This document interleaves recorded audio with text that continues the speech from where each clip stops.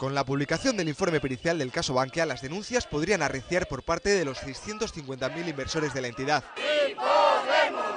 ha dado nuevas esperanzas a aquellos que ya no confiaban en la justicia. Que ellos creían que no se puede, que no se podía reclamar o que no iba a tener solución y ahora están viendo que se les abre una vía de posibilidad para poder recuperar el dinero. Es definitivo de cara a establecer que ahí hay que devolver el dinero a todos los 300.000 personas que en España les engañaron con las acciones de Bankia. Marta supo desde el primer momento que su única baza era reclamar. Por ello denunció a Bankia por los 338.000 euros que le vendieron en preferentes. Ahora un juzgado de Arganda del Rey en Madrid ha fallado a su favor y deben de devolverle la totalidad de su dinero. Sin embargo, la entidad todavía puede reclamar la sentencia. Esperar a ver si quieren retorcernos un poco más, eh, a ver si recurren, no recurren, pero vamos, que yo no voy a parar hasta que se haga justicia. Casi 200.000 euros tendrán que reembolsar a la tía de Carmen. A sus 100 años depositó los ahorros de toda una vida en Bankia. Le dijeron que era una inversión a plazo fijo y que podría sacarlo cuando ella quisiera. Todavía se pregunta cómo la pudieron engañar. Mi tía no le sale de la cabeza que esto pueda ocurrir en España porque dice,